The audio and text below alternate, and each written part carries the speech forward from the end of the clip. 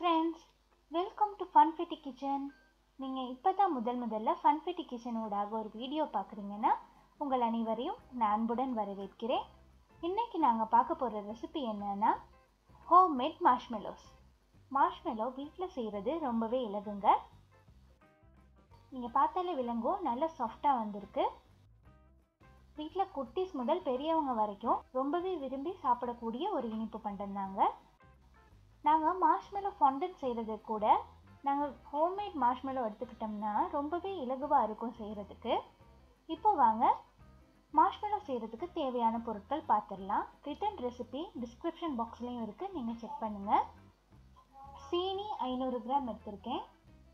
சீனி வந்து பாகு காய்ச்சிக்க போகிறோம் பாகு காய்ச்சறதுக்கு தேவையான அளவு தண்ணீரும் எடுத்திருக்கேன். ஐநூறு கிராம் சீனிக்கு ஒரு கப் தண்ணீர். இது தாங்க ரேஷியோ முப்பது கிராம் ஜெலட்டின் எடுத்திருக்கேன். ஜெலட்டின் டிசால்வ் பண்ணுறதுக்கு அரை கப் தண்ணீர் எடுத்திருக்கேன். ஒரு டீஸ்பூன் வெனிலா எசன்ஸ் எடுத்திருக்கேன். கலரிங் வந்து எடுத்திருக்கேன். நான் வந்து இன்றைக்கி பிங்க் கலர் யூஸ் பண்ணுறேன் ரெண்டு ட்ராப்ஸ் தான் யூஸ் பண்ணுறேன் இது வந்து ஜெல் ஃபுட் கலர் கார்ன்ஃப்ளா எடுத்துக்கிறேன். மார்ஷ்மெலோ ஸ்டிக் ஆகி கத்தியிலலாம் ஒட்டிக்கிறாமல் இருக்கிறதுக்காக நான் கார்ன்ஃப்ளா யூஸ் பண்ணுறேன் நீங்கள் ஐசிங் சுகர் கூட யூஸ் பண்ணிக்கலாம். இப்போது முதலாவதாக முப்பது கிராம் ஜெலட்டினில் அரை கப் தண்ணீர் ஊற்றி ஜெலட்டினை நல்லா கரைச்சிக்க போகிறோம் ஜெலட்டினில் ஏதாவது கட்டிகள் இருந்ததுன்னா ஒரு ஸ்பூனால் நல்லா அமுழ்த்தி விட்டுருங்க. இப்போ ஜெலட்டினை ஒரு ஃபைவ் மினிட்ஸ் அப்படியே விட்டுடலாங்க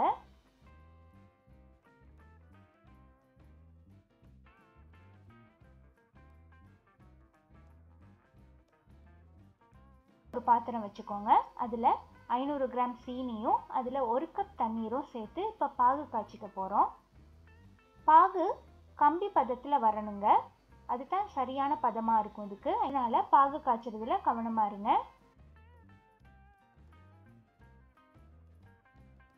இப்போ சீனியெல்லாம் டிசால்வ் ஆகிடுச்சு அடிக்கடி கம்பு பதம் வந்துருச்சான்னு சொல்லி நீங்கள் செக் பண்ணிக்கிட்டே இருங்க. கம்பி பதம் வந்தோடனே அடுப்பை அணைச்சிக்கலாம். இப்போ எனக்கு கம்பி பதம் வந்தாச்சு. இப்போ பாருங்கள் நல்ல நூல் மாதிரி இழிப்படுது இப்போ அடுப்பை அணைச்சி லைட்டாக இந்த பாகை ஆற வைத்துக்கோங்க. ஜெலட்டினை வந்து கரைக்கிறதுக்காக ஒரு பாலில் நான் சுடு தண்ணீர் ஊற்றிக்கிறேன். இப்போ அதில் முதல்லையே நாங்கள் செட் ஆக வச்சுருந்தோம்ல ஜெலட்டின் அந்த பாலை வச்சுக்கலாம். வச்சுட்டு நல்ல ஜெலட்டினை டிசால்வ் ஆக விட்டுருங்க.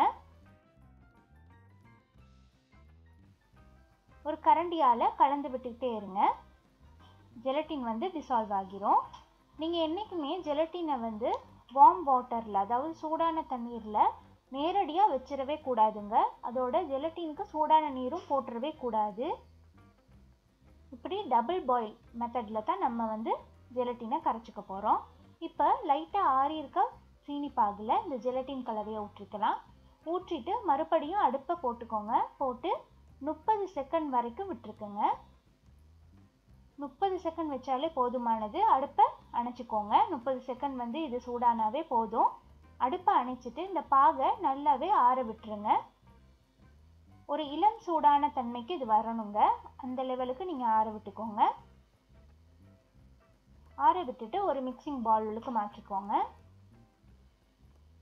இப்போ எக் பீட்டரால் நல்லா நாங்கள் இதை பீட் பண்ணிக்க போகிறோம் ஹை ஸ்பீடில் பீட் பண்ணிக்கோங்க. இன்கேஸ் உங்களுக்கு வந்து எக் பீட்டர் இல்லைன்னா நீங்கள் விஸ்காலே பண்ணிக்கலாம். இன்னும் கொஞ்சம் டைம் எடுக்கும். நீங்கள் எக் பீட்டரால் பீட் பண்ணும்போது உங்களுக்கு சரியாக ஐந்து நிமிடத்துலேயே உங்களுக்கு ரெடி ஆகிரும்.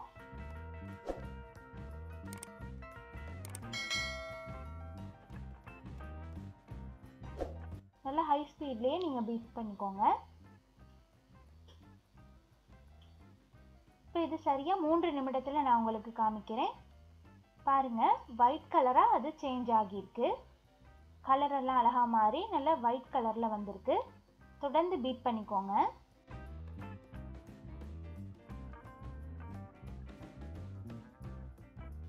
பீட் பண்ணும்போது ஒரு ஃப்ளீட் மாதிரி ஒரு தன்மை ஒன்று இந்த சீனி பாகுக்கு கிடைக்கும். அந்த ப்ளீட் தன்மை வர வரைக்கும் நீங்கள் பீட் பண்ணிக்க போகிறீங்க சரியாக சொல்லணும்னா ஐந்து நிமிடத்தில் அது சரியான பதத்தில் வந்துடும் நீங்கள் பாகு காய்ச்சறது சரியாக இருக்கணுங்க.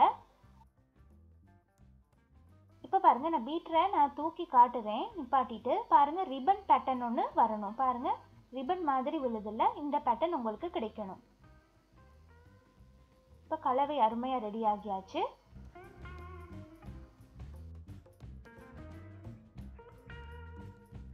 இப்போ நீங்கள் இதில் வெனிலா ஒரு டீஸ்பூன் போட்டுட்டு நல்லா டிப் பண்ணிக்கோங்க.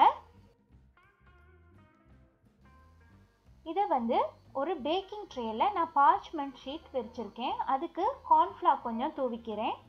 இதில் தான் நாங்கள் இந்த கலவையை போட்டுக்க போகிறோம் கார்ன்ஃப்ளா போடுறது இது வந்து ஸ்டிக் ஆகாமல் இருக்கிறதுக்கு தான்.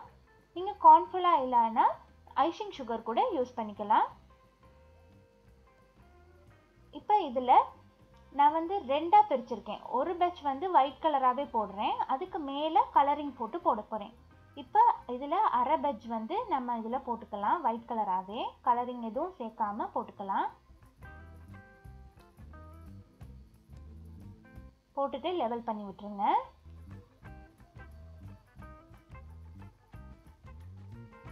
இப்போ மிகுதி இருக்கிற கலவைக்கு நான் பிங்க் கலர் ஆட் பண்ணிக்கிறேன். நான் ஜெல் ஃபுட் கலர் தான் யூஸ் பண்ணுறேன்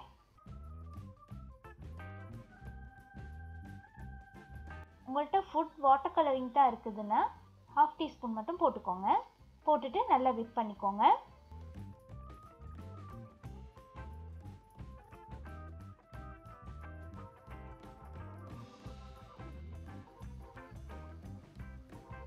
இப்போ அதையும் இது மேலால் ஊற்றிக்கலாம். ஊற்றிட்டு நல்லா லெவல் பண்ணிக்கிறணுங்க. உங்களுக்கு பார்ச்மெண்ட் ஷீட் கிடைக்கலன்னா ஒரு ட்ரேயில் பட்டர் தடவி கூட நீங்கள் இதை போட்டுக்கலாம். பட்டர் தடவிட்டு அதுக்கு மேலே கார்ன்ஃப்ளார் தூவிட்டு இந்த கலவையை போட்டு செட் ஆக விட்டுருங்க. செட் ஆக்குறதுக்கு முதல்ல நல்லா லெவல் பண்ணிக்கோங்க.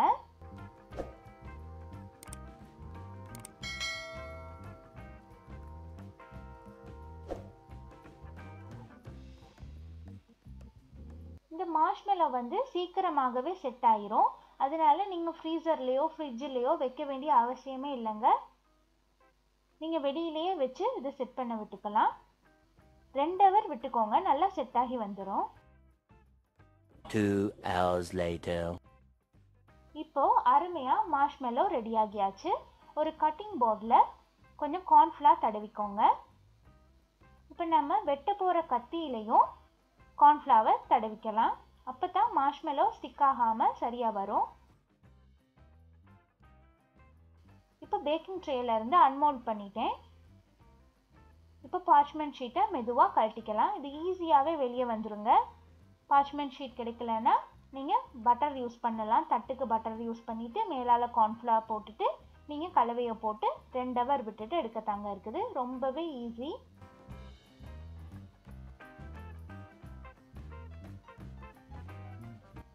இதுக்கு மேலேயும் கொஞ்சம் கார்ன்ஃப்ளவர் நான் தூவிக்கிறேன்.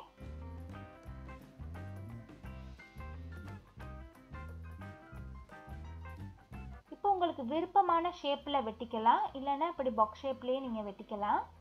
வெட்டும் போது வெட்டுற கத்திக்கு கண்டிப்பாக கார்ன்ஃப்ளவர் நீங்கள் யூஸ் பண்ணுங்கள் அப்போ தான் ஸ்டிக் ஆகாமல் சரியாக வரும்.